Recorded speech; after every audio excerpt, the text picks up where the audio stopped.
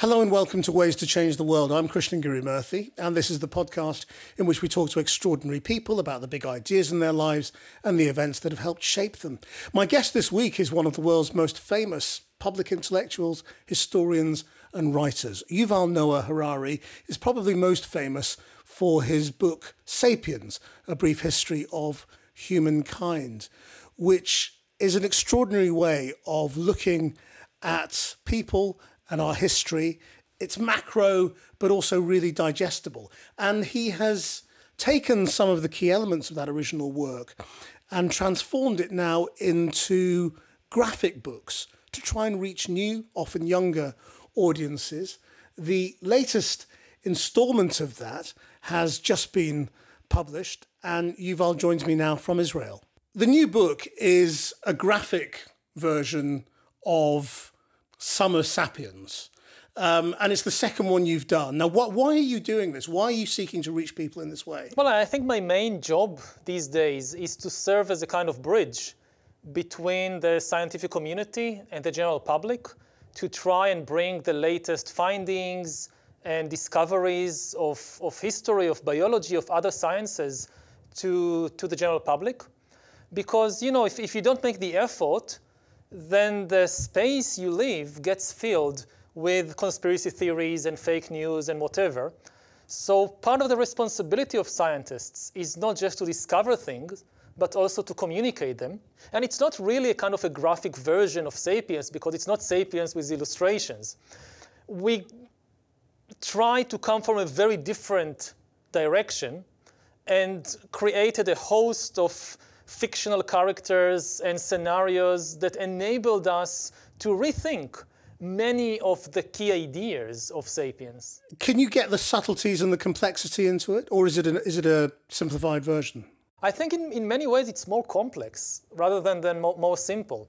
It forces you to answer a lot of very difficult questions that in the, in the, the original version I could simply ignore.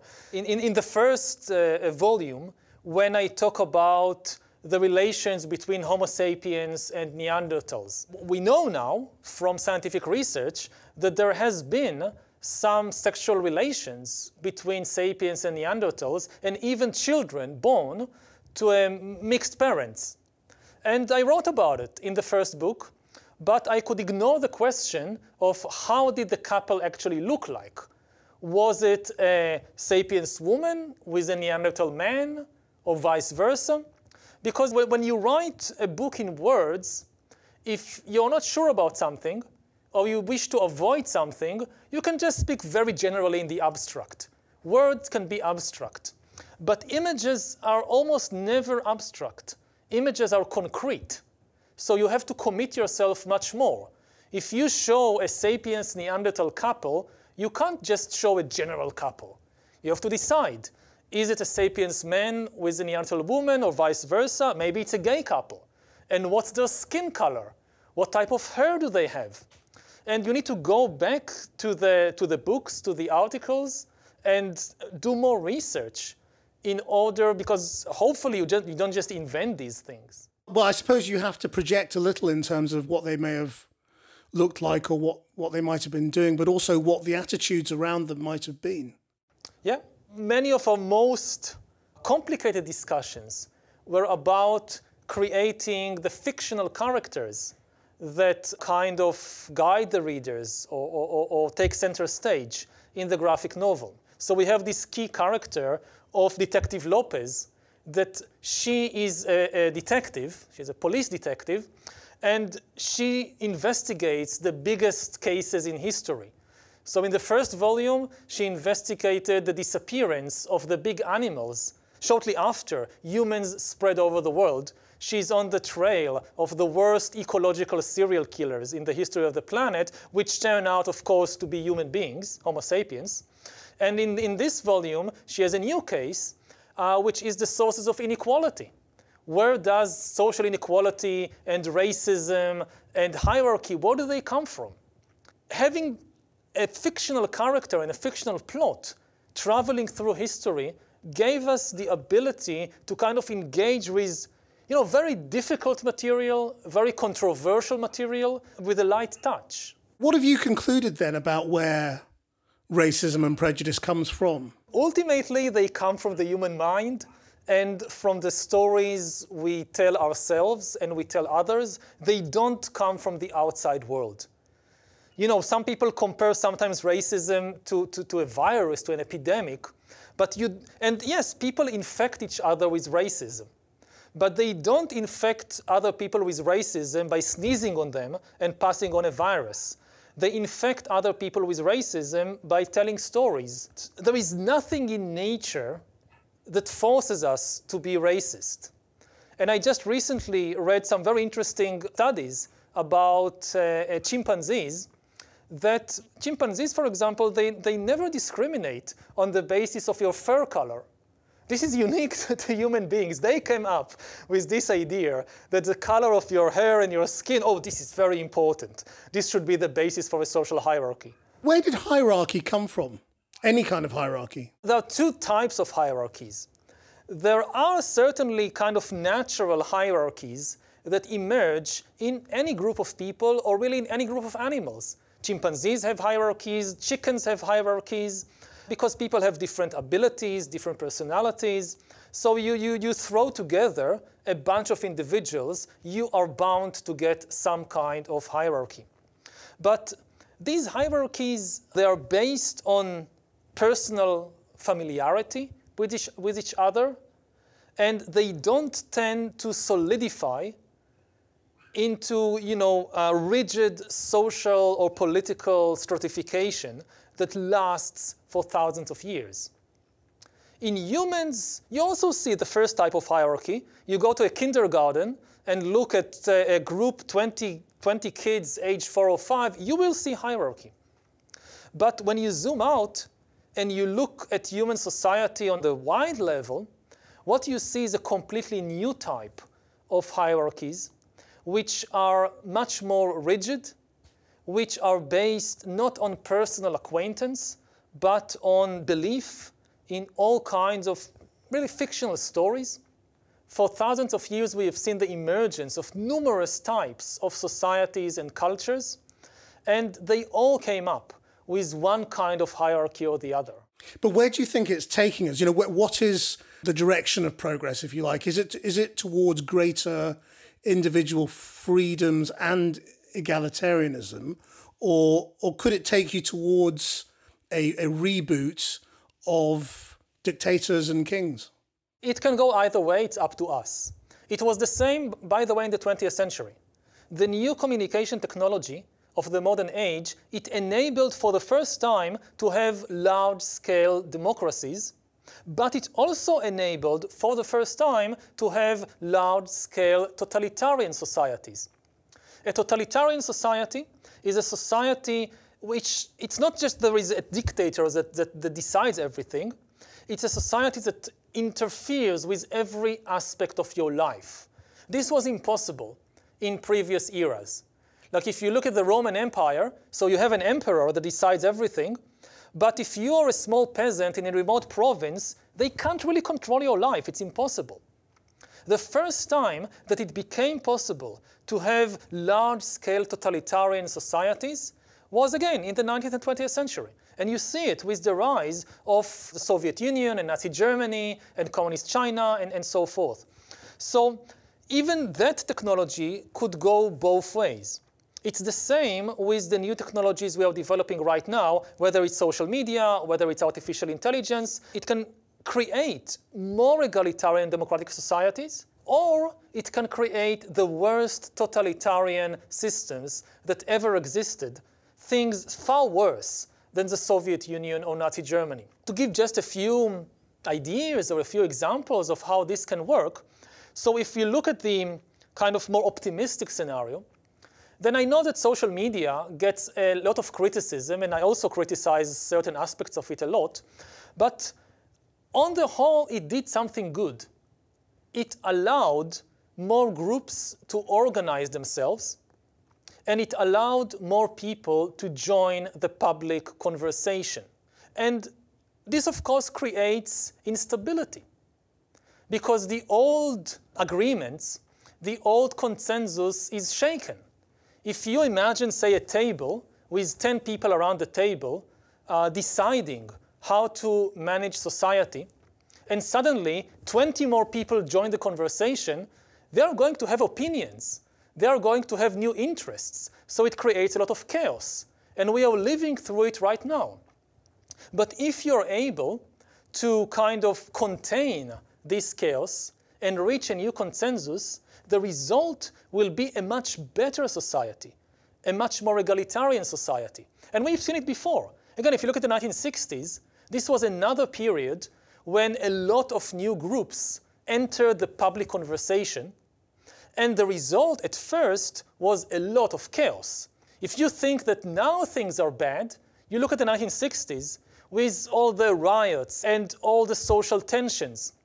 And at the same time, you look at the Soviet Union in the 1960s, and everything is so peaceful and quiet, and there is just one TV channel, and everybody agrees on the same reality.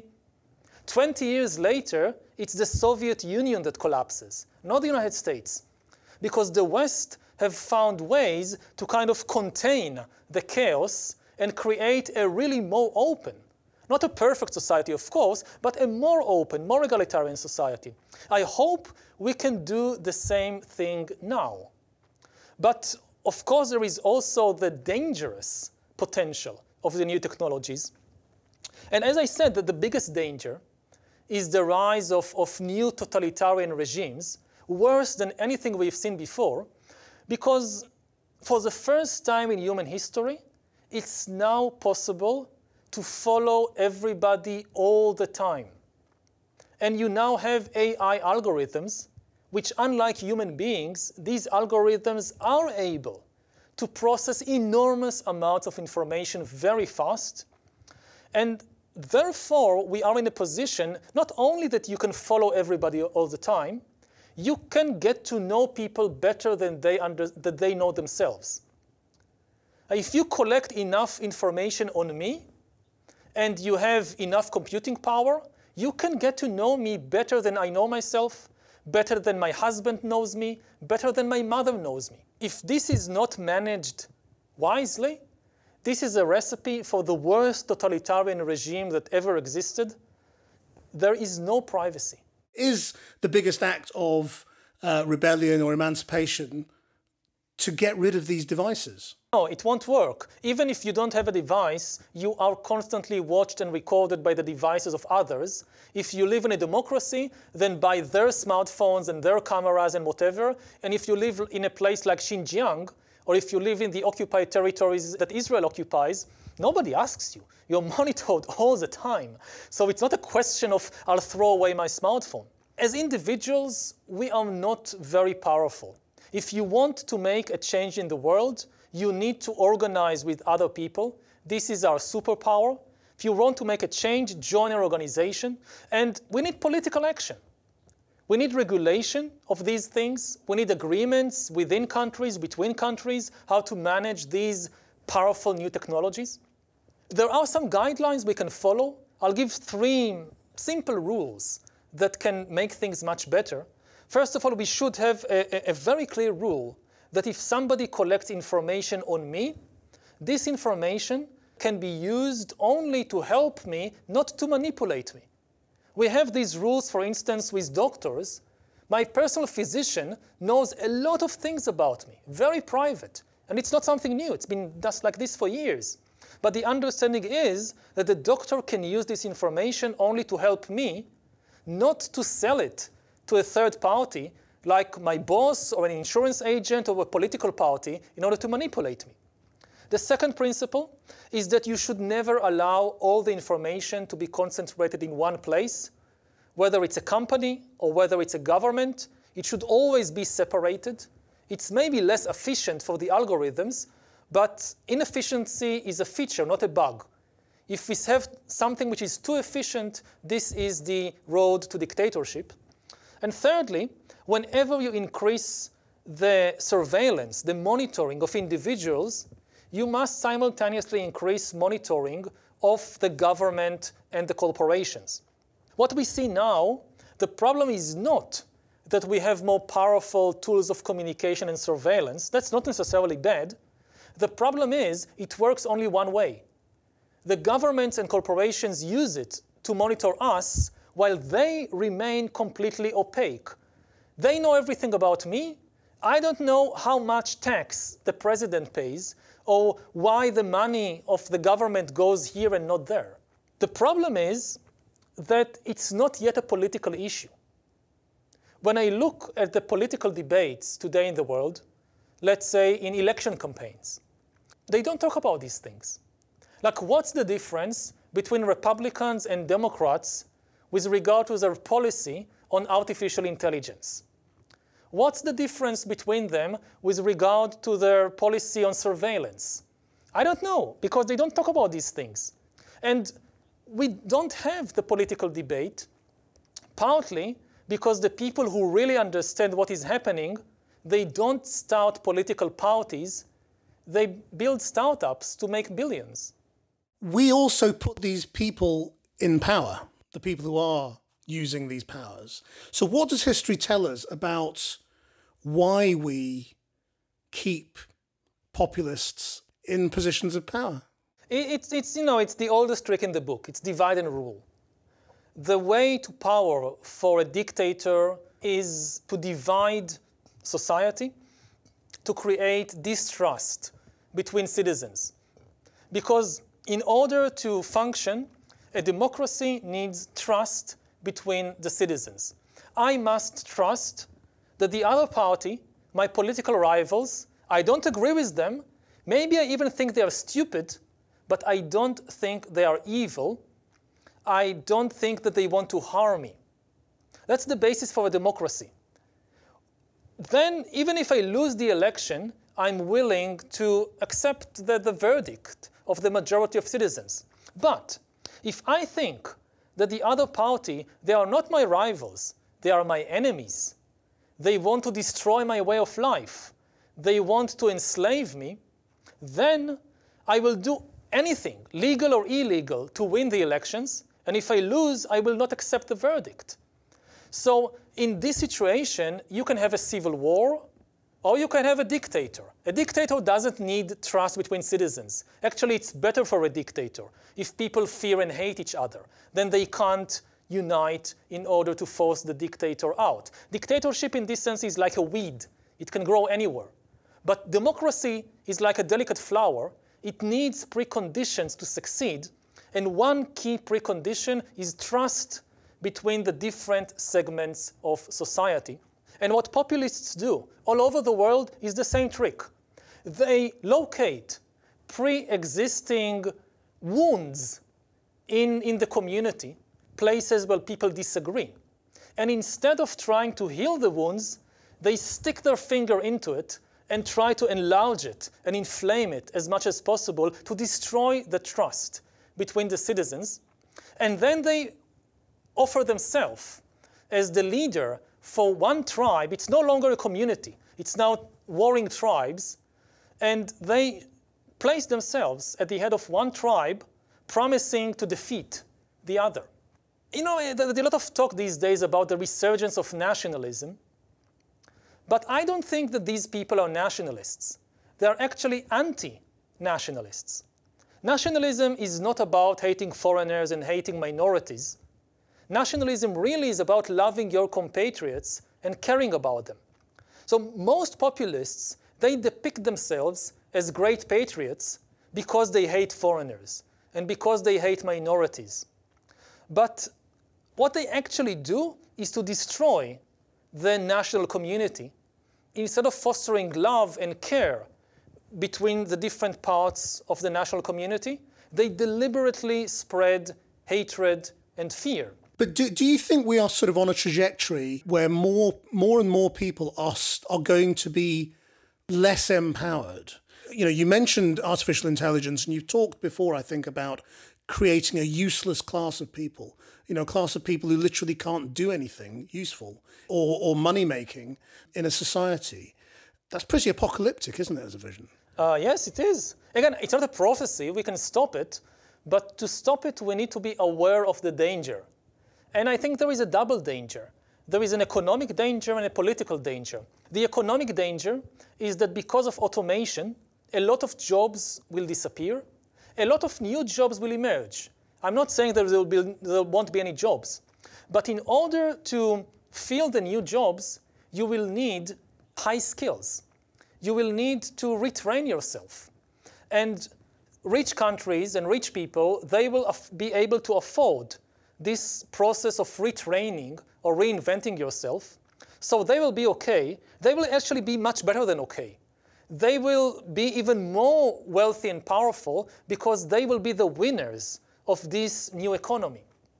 Poorer countries and poorer people who don't have the resources to retrain themselves, they will lose what they have already and they will not be able to enjoy the fruits of this new economy.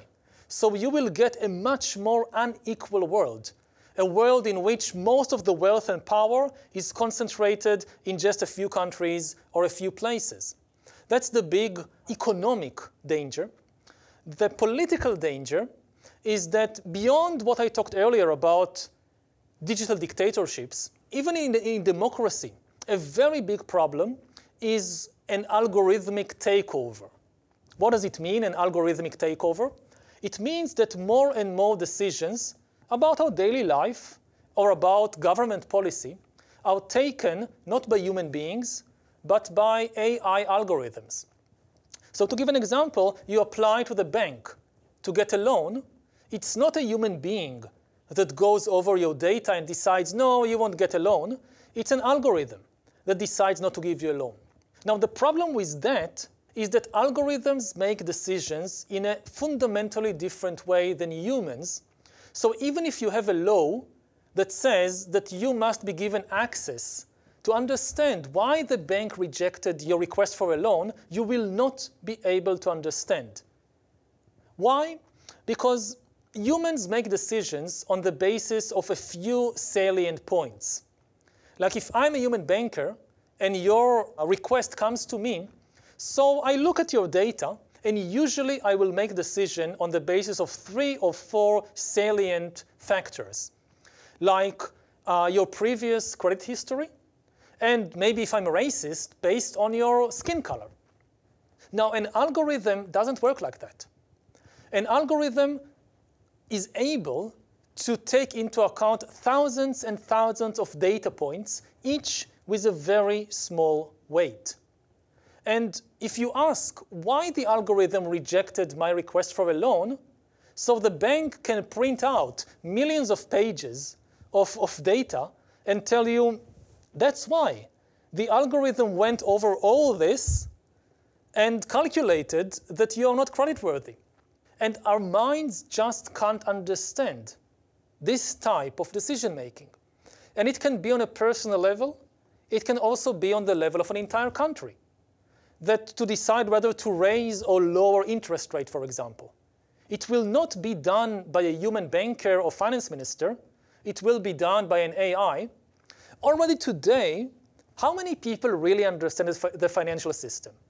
I guess less than 1% of people really understand finance. In 20 years, the number of people who will be able to understand the global financial system will be exactly zero. It will be so complicated that only AI would be able to manage it. And what is the meaning of a democratic government when the humans supposedly in charge don't understand the financial system? And this kind of algorithmic takeover, it threatens both democracies, but even more so dictatorships. Actually, it's easier for AI to take over a dictatorship than to take over a democracy. A democracy is complicated. A dictatorship is simple. Just imagine what happens, let's say, to the Chinese Communist Party if it gives an algorithm the authority over promotions and demotions in the party. Very soon, the one who controls the Communist Party is not the Politburo, it's the algorithm. Or think about this kind of classical case that you have a dictator uh, who is always afraid that somebody will assassinate him, and the AI system in charge of protecting the dictator calls the dictator and tells him, uh, Dear leader, I've discovered a plot by the defense minister to assassinate you. Do you want me to kill him first? Now the dictator has a dilemma. If he says no, he, then he's in danger of being assassinated. If he says yes, he is no longer in power. He is just a puppet in the hands of the AI, because whenever the AI sees that something th- threatens it, it can always tell the dictator, look, this person or that group, they are trying to take over, let me eliminate them. So even if you still have a human being as a dictator, the real ruler will be the AI. How did you come to sort of this, this way of approaching history? I, I studied the Middle Ages a lot. My real kind of uh, expertise is, is not AI and is not the 21st century, it's the Middle Ages. And it gives you a much broader perspective on things, looking at the way that people lived and thought in a completely different period. There's still a leap, isn't there, from academic history to the kinds of books that you're writing that are so sort of macro and, and give people sort of moments of clarity as they're reading or different ways of thinking about the world. Is that something that just came to you or was it sort of something you had to work out? No, it, it took time to develop, but I think the, the key was that I, I followed the questions and not my own answers or my own hypothesis. I had some very big questions about history or about the world. And I didn't come up with some thesis that tries to answer the question. I just follow the question wherever it leads. And if I don't know something or I don't know the answer to something, I, am happy with just leaving it with I don't know. So, uh, for instance, in, in Sapiens, one of the big questions of history is why Europe became the dominant power in the world in the modern age. And you have, you know, like dozens of theories about geography, about climate, about culture, Christianity, whatever. And the more I read, the, the more I understood nobody knows. It's just one of these things, maybe we'll know in the future, but we don't really know. It's maybe an accident of history. There are so many things we don't understand about the world, and it's better to acknowledge our ignorance than to come up with some fanciful theory and insist, make the facts fit, fit with our theory. I believe that the, like the biggest discovery of science, the biggest discovery of the scientific revolution was the discovery of ignorance. For thousands of years, human civilizations, human cultures built themselves on certain knowledge. Like every human culture had its holy book or holy prophet or mythology or whatever, which was supposed to give them perfect knowledge of the world. They refused to admit the ignorance of humankind, which is why they also didn't invest much time and effort in looking for new knowledge because we already know everything. The big discovery of the scientific revolution was that we don't know. We don't understand the world, we don't know where humans come from, we don't understand the political system, the economic system, and this is still, I think, the key to scientific advance. Being able to acknowledge your ignorance and to even be comfortable with it. When did that happen then? When did people start saying that? One of the places you see it for the first time is with geography and world maps. If you look in the Middle Ages, at world maps being drawn all over the world, in Europe, in China, in the Middle East, what strikes me when I look at these maps, they are complete maps of the world. Like you get a map from medieval Europe that shows you the whole world. Now, of course, they didn't know anything about America or about Southern Africa or about Australia, it, but it didn't bother them. They still depicted the world they knew as the entire world and when the something was missing, they just filled it in with all kind of monsters or stories from the Bible or whatever. And then in the early 16th century, you start getting these amazing maps which are part empty. You get these charts of the world where you see some parts of the world like Europe drawn with, with, with a lot of details. And then at a certain point, the line just disappears. And it's obvious there is something there, but the map maker had the kind of intellectual courage to just leave it blank. We don't know what's, what's out there, and this is an invitation to go and explore. If you go to a medieval cathedral in the 12th century and you see this entire map of the world, then you have this comfortable feeling we know everything. We don't need to go and explore. If you look at a map from the 16th century and you see the coastline and suddenly nothing, blank, it arises your curiosity hey, what's there? Maybe we go out and find out. So, to what extent then do you think we we are actually in control of our own destiny? I mean, you've said a couple of times in answers it doesn't have to be that way, but do we really have choice? I think we have a lot of choice. History is not deterministic. Many of the big changes in history were extremely unlikely. If you think, for example, about the rise of Christianity, if you go around the Roman Empire in, say, the third century, then you have so many different religions and cults and, and, and philosophies and whatever, and you have this tiny esoteric Jewish sect that believes that a Jewish preacher who was crucified by the Romans 200 years ago is actually the Lord of the universe. And it's a very tiny esoteric sect. Nobody would imagine that within a couple of decades, this sect, Christianity, will take over the Roman Empire. But it happened. If you think, for instance, about the Bolshevik Revolution, in 1914, there were just a couple of thousand Bolsheviks in a country of almost 200 million people.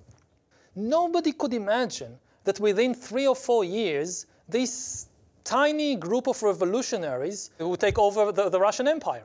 Many of the events of history are very accidental.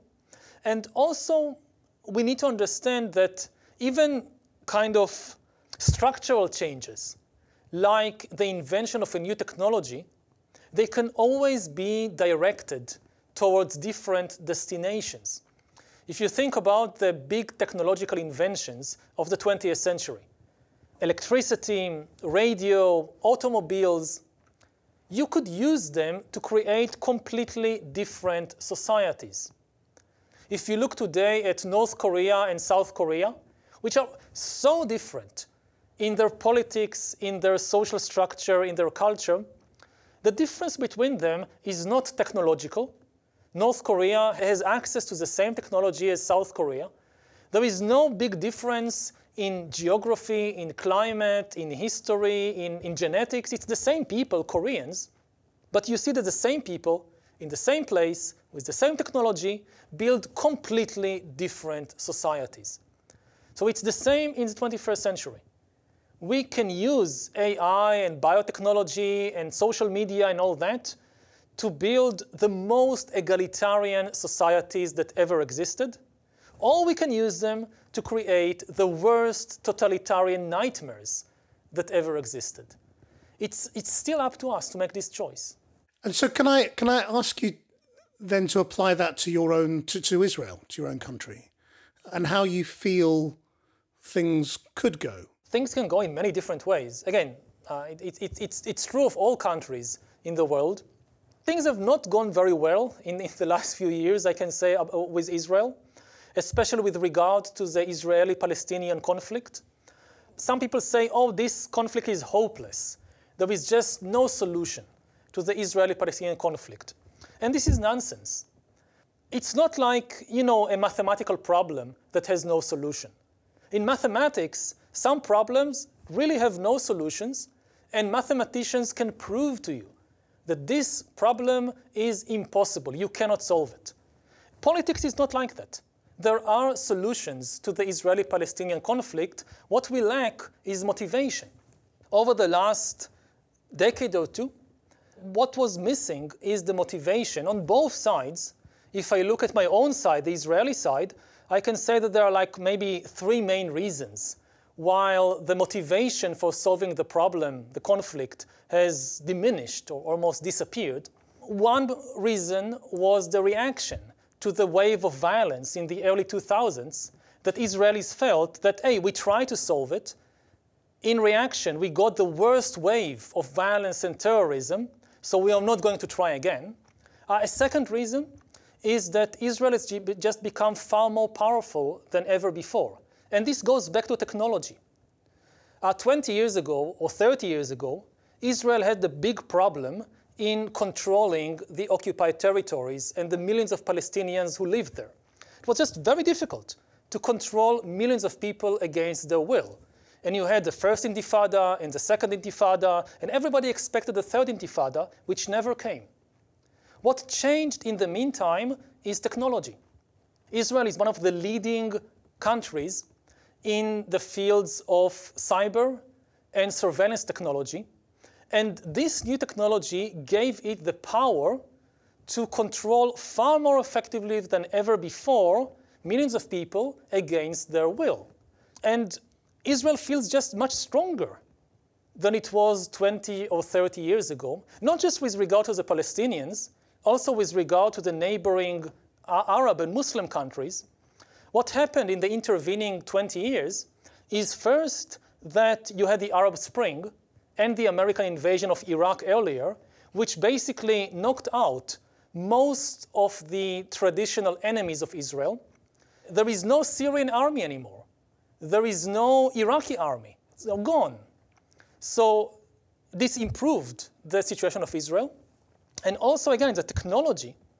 One of the reasons of the wave of new agreements Israel has been signing with the uh, uh, Gulf states and Saudi Arabia and so forth, it's not only common alliance against Iran, it's also they want the Israeli technology. They want the cyber abilities. They want the surveillance technology. And it's an integral part of this new friendship between Israel and these regimes. So Israel feels we don't need to make compromises. We are much more powerful. And the third ingredient is a wave of kind of messianic thinking. Whereas 20 years ago, 30 years ago, the Israeli Palestinian conflict was mainly a national conflict, it has now increasingly become a religious conflict with larger parts of the Israeli population becoming more religious and uh, believing in messianic visions. They don't want peace they want to realize their religious fantasies. So when you take all these three factors together, you get the situation that we are now in. But again, none of this is deterministic. If people gain the motivation, there are solutions. So you, you said you, you follow the questions, which is how you got to where you are as a historian. In terms of some answers that you would choose, if you could change the world, in any way, what would you do? We can go to the you know really general stuff like world peace, but this is this doesn't really add anything. Focusing on, on the issue of, of the ecological crisis, which is one of the biggest challenges we face, I would like to see mm, 2% of global GDP starting this year devoted to developing eco-friendly technology and uh, eco-friendly infrastructure I'm not an expert in this particular field, but from the reviews and researches that, I, that I've read, I got the feeling there is a widespread consensus among the experts that this is what we need to prevent catastrophic climate change. People have shifted very quickly from not believing in climate change to feeling completely helpless, that it's, it's too late, there is nothing we can do. We need to stop in the middle it's a very serious problem, but it's not hopeless. And the number to remember is 2%. That's it. If we invest 2% of global GDP annually, we can solve this. And, you know, 2% of global GDP is a lot, but it's completely feasible. This is exactly what politicians are good at. If you say we need to shift 20% of the budget to a new thing, that's probably impossible. But shifting 2% of the budget from A to B, this is the job of politicians. So we need to remember this simple number and not lose hope and pressure our politicians with this concrete demand invest 2% of GDP in solving climate change. Thank you very much indeed. Thank you for your time. Thank you. Our producer is Rachel Evans. You can watch all of these interviews on the Channel 4 News YouTube channel. Until next time, bye bye.